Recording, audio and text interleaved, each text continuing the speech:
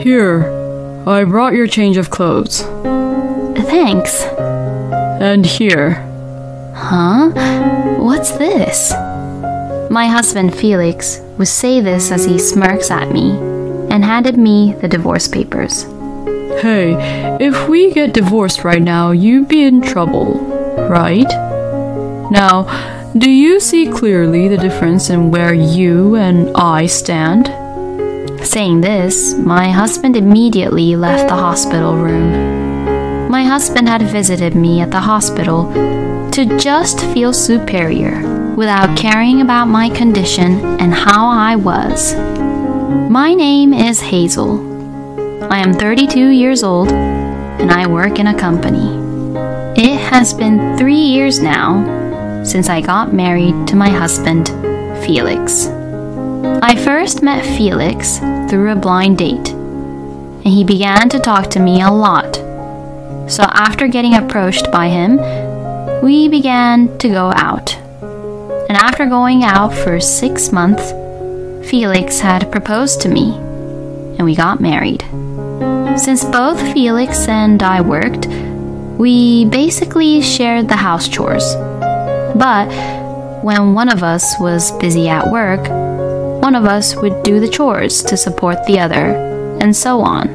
And we spent our lives as a couple, taking care of each other. My husband was always kind to me, and even after three years of marriage, we were still getting along well. So, I thought I had found the right person. Or so I thought. One day, I came home from work really happy. I took off my shoes and hugged my husband at home with a huge smile on my face. Oh, hey, what's going on? Oh, listen, honey. I got a promotion. What? It's because my last project was a huge success, and my bosses acknowledged my hard work for it. I. I see. Until now, you have been earning more than me, Felix. So you had to pay a lot more for the living expenses and such. But now, we can finally split it in half. Let's celebrate by having steak today, okay? I even bought some really nice sirloin steak. Oh, okay. I'm just going to go take a bath first. I felt that my husband's reaction was somewhat weak, but at the time I thought he was just exhausted from work. Later, after I was promoted, my workload increased and I had more things to learn, so I continued to work overtime. So, as a result, I would end up coming home late from work. I'm home! Oh, uh, welcome home. Hmm? Where's dinner? Oh, I already ate. Huh? There's still some ingredients left, so why don't you just quickly cook something easy and eat something? My husband would say that while watching the TV without even looking at me. I wonder what's going on with him. Until now, if one of us had to work late, the one who arrived home first would make the meal and leave it for the other. But my husband was giving off an aura that told me not to talk to him. So, I had no choice but to cook a simple meal, even though I was pretty exhausted from work. Oh, we're out of buns or bread. And I looked over our pantry, but we're also out of pasta too. Since there were no carbs that I could eat, the only option I ended up having was salad and yogurt. What? You're eating only salad and yogurt? Will that be even enough for you, nutrition wise? Usually, people who can do their work really well even pay close attention to what they eat, you know? My husband, perhaps hearing the sound of me eating my salad, began to pick on me. it feels like he's trying to say something which would hurt my feelings. After that, my husband's attitude toward me became more and more terrible. Hey, please don't leave your clothes all over the place. Huh? If they are in the way, why don't you just put them into the laundry basket? Hey, today's the day you are in charge of doing the house chores, right? What?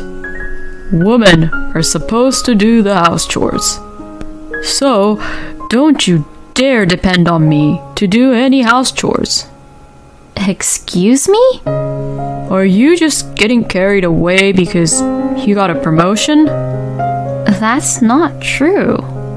Huh, we'll see about that. Anyway, I'm not doing any house chores anymore, alright? What? From today, all the house chores are your job since you're the woman. No way. Then, my husband really actually stopped doing anything around the house and left all the house chores to me. So, I had to do all the housework, and it became quite physically demanding. Since I work overtime most weekdays, I can't really clean around the house. So I had to do most of the house chores on the weekends, and I couldn't really take any weekends off at all. Plus, I'm not sure if my husband was just being mean and doing it on purpose or not, but he made the room dirtier than ever, and it takes a lot of time to clean it up nicely nowadays. And at mealtime, Felix used to eat everything and say whatever I cooked tasted good. But recently, he started complaining about every little thing I cook. Felix would complain, saying things like how it's tasteless, or it wouldn't taste good, or the next day he would say it tastes too strong, and so on and he would also complain about me at every chance he has. You can't even do your house chores properly. So, I wonder why you even got promoted. Your company is going to go bankrupt. Probably. My husband looks so happy when he looks down on me like that. How on earth did Felix become such a person? One day, I was so exhausted physically and mentally that I collapsed at work due to severe abdominal pain caused by the stress from overworking. And because of that, I was rushed to the hospital.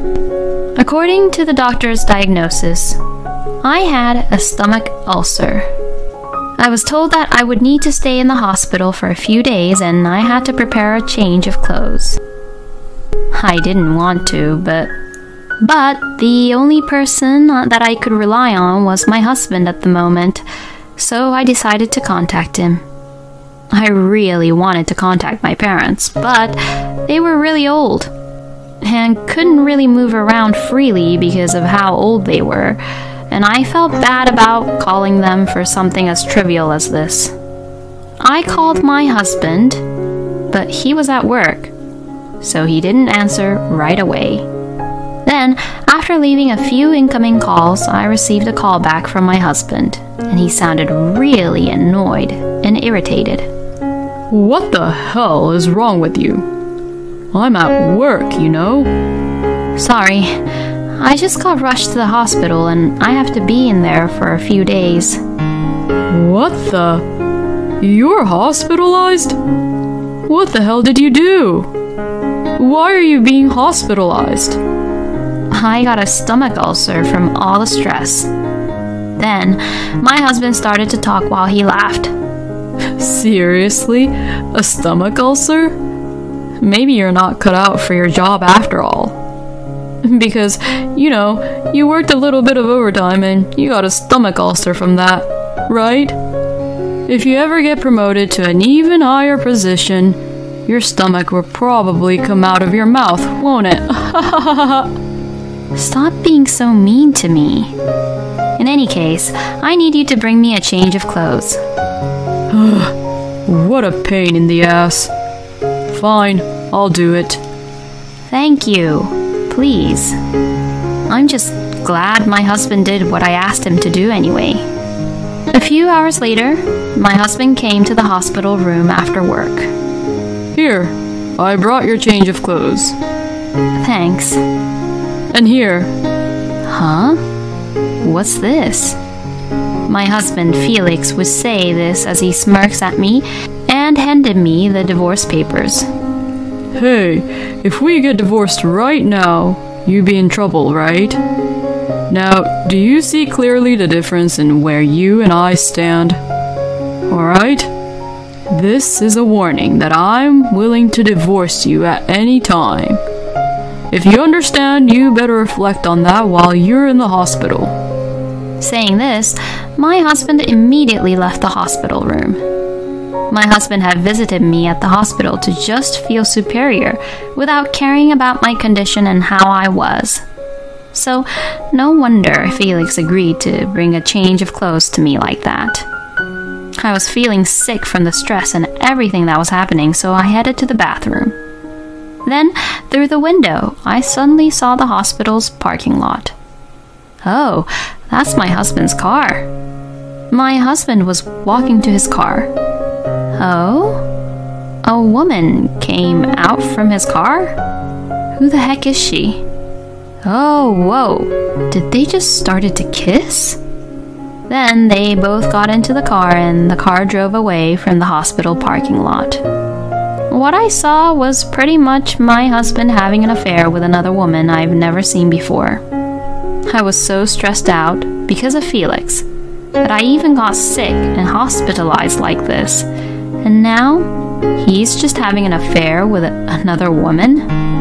I felt empowered to get out of the hospital as soon as possible and get a divorce from Felix. I had let my husband's change in attitude get the better of me, and I had let him say whatever he wanted to say to me, but I was going to gather evidence and get out of this hellhole.